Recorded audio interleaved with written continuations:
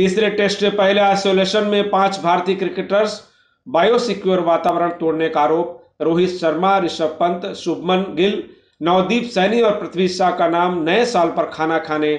बाहर निकलना पड़ा भारी जांच में जुट बीसीसीआई